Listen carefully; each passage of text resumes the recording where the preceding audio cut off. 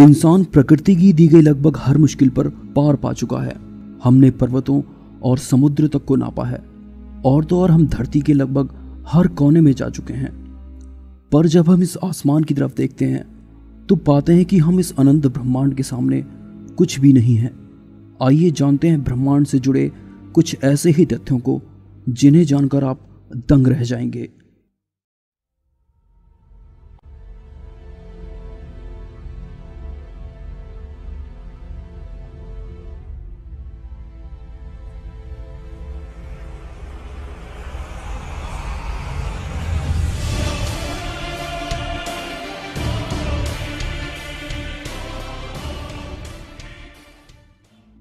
हाय दोस्तों, मैं हूँ विशाल और आप देख रहे हैं मिथ टीवी।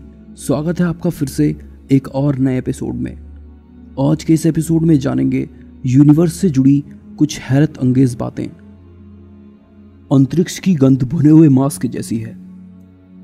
अंतरिक्ष यात्रियों ने अपनी अंतरिक्ष यात्रा के बाद धरती पर आने पर अंतरिक्ष की गंध के अनुभव को बताया है। किसी ने इसे भुने हुए मांस किसी ने इसे गर्म धातु तो किसी ने इसकी गंध को वेल्डिंग के धुएँ से आने वाली स्मेल के जैसा बताया है।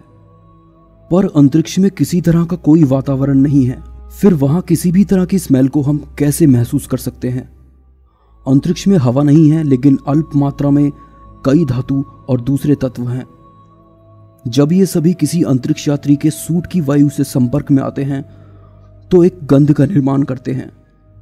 नासा ने इसी तरह की कृत्रिम गंध को बनाकर अंतरिक्ष यात्रियों की ट्रेनिंग में शामिल करना चाहा था, पर किसी वजह से ऐसा नहीं हो पाया। अंतरिक्ष में ये गंध आती कहाँ से है, इसका सही सही जवाब देना जरा कठिन है। इतना ठंडा तारा जिसे आप छू सकते हैं। खगोल शास्त्रियों ने सौर मंडल से बाहर अंतरिक्ष का सबसे ठंडा तारा खोज निकाला है। इसे W D zero eight zero six double six one नाम दिया गया है। यहाँ का सबसे कम तापमान धरती के किसी खुशनुमा शहर की तरह है, लेकिन इसका द्रव्यमान बृहस्पति ग्रह से छह से नौ गुना ज़्यादा है। ठंडे तारे की खोज करने वाले पेन स्टेट यूनिवर्सिटी के प्रोफेसर केविल लूहमन ने बताया कि यह तारा बहुत छोटा है, जिसका वायुमंडल तापमान पृथ्वी जैसा ही ठंडा है। इस तारे की सतह का तापमान 27 डिग्री सेल्सियस से 80 डिग्री सेल्सियस तक है। तारे का पता लगाने के लिए नासा ने स्पिट्जर स्पेस टेलीस्कोप का इस्तेमाल किया, जिससे इस तारे को 600 गुना स्कैन करके देखा गया। यह धरती पर मौजूद सबसे अधिक संवेदनशील टेलीस्कोप है। भूरे रंग का यह तारा धरती से 630 लाख प्रकाश वर्ष दूर है, जो दूसरे तारों की तरह धूल और गैस के बादलों से बना है।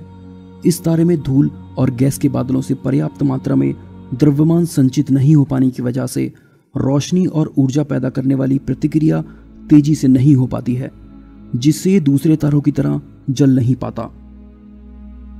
ब्रह्मांड की सबसे बड़ी संरचना जो फैली है 10 अरब प्रकाश वर्ष जितने इलाके में।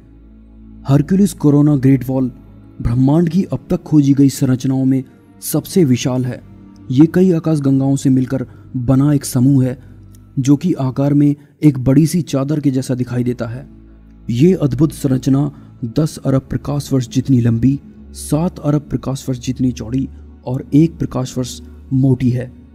ये संरचना इसलिए ज़्यादा रहस्यमय हो जाती है क्योंकि आधुनिक विज्ञान के हिसाब से इतनी बड़ी संरचना मौजूद हो ही नहीं सकती।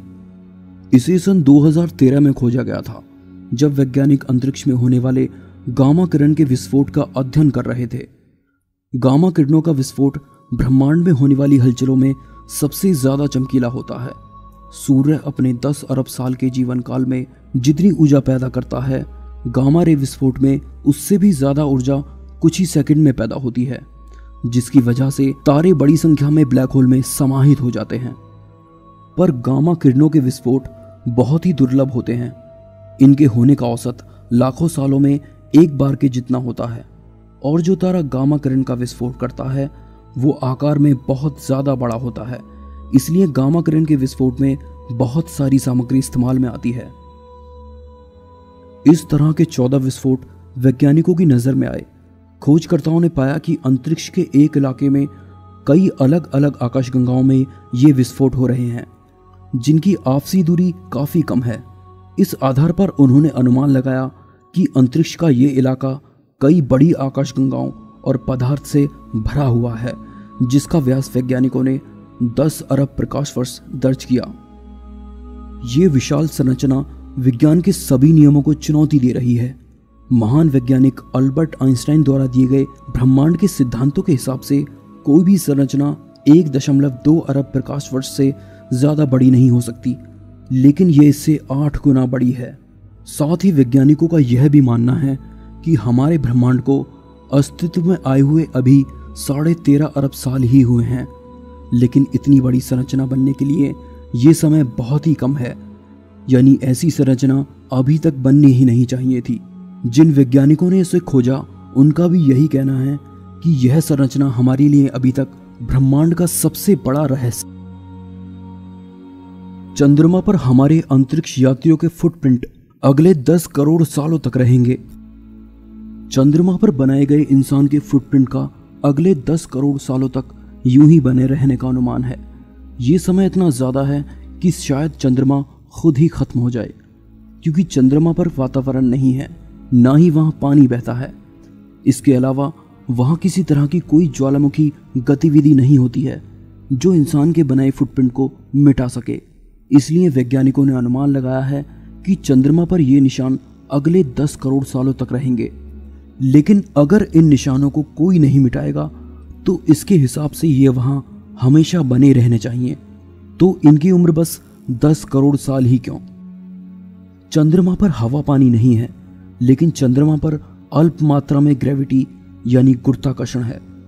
इस गुरुत्वाकर्षण से चंद्रमा पर बहुत ही धीमी गति से अंतरिक्ष से धूल आती रहती है। अंतरिक्ष में यह धूल उल्काओं, धूमकेतुओं और दूसरी चीज़ों से बनती है। यही धूल पैरों के निशान दबा सकती है। लेकिन यह प्रोसेस इतना धीमा है कि इसमें 10 करोड़ साल लगेंगे। धरती से 12 अरब प्रकाश वर्ष दूर मिला पानी का अथाह भंडार। अगर आपको लगता है कि पृथ्वी के विशाल महासागर इस ब्रह्मांड के सबसे बड़े जल भंडार हैं तो आप गलत हैं। खगोल वैज्ञानिकों ने ब्रह्मांड के सबसे विशाल जल भंडार का पता लगाया है, जो भाप के बादलों के रूप में है, और इन बादलों में मौजूद पानी का भंडार पृथ्वी पर मौजूद पानी से 1400 खरब गुना ज़्यादा है और इसका घनत्व हमारे सूर्य से एक लाख गुना ज़्यादा है। पानी का ये भंडार मिला है आकाशगंगा के सबसे चमकीले और सबसे सक्रिय केंद्र क्वासर में और इसकी खोज की है कैलिफ़ोर्निया इंस्टीट्यूट ऑफ़ टेक्नोलॉजी के वैज्ञानिकों ने। क्वासर आकाशगंगा के केंद्र में पाए जाने वाले सबसे चमकीले पिंड होते हैं। वैज्ञानिकों ने खास तरह के क्वासर के अध्ययन से यहाँ मौजूद पानी के इस विशालतम भंडार का पता लगाया है। ये क्वासर हमारे सूरज जैसे एक हज़ार खरब सूरज के बराबर ऊर्जा पैदा करता है। क्वासर की पृथ्वी से दूरी 12 अरब प्रकाश वर्ष है, यानी इससे फूट रही रोशनी 12 अरब साल बाद अब पृथ्वी पर पहुँची है। जल भंडार खोजने वाले दल के प्रमुख ब्रेडफोर्ड ने कहा है कि इस क्वासर के चारों ओर का वातावरण काफ़ी अद्भुत है। ये एक प्रयोगशाला जैसा है, जहाँ ऑक्सीजन और हाइड्रोजन को मिलाकर पानी बनाने का काम जारी है। लेकिन गर्मी इतनी ज़्यादा है कि यहाँ बनने वाला पानी भाप के बादलों के रूप में इकट्ठा हो रहा है। क्वासर में मौजूद भारी मात्रा में पानी साबित करता है कि पानी केवल हमारी धरती पर ही नहीं, बल्कि पूरे ब्रह्मांड में मौजूद है।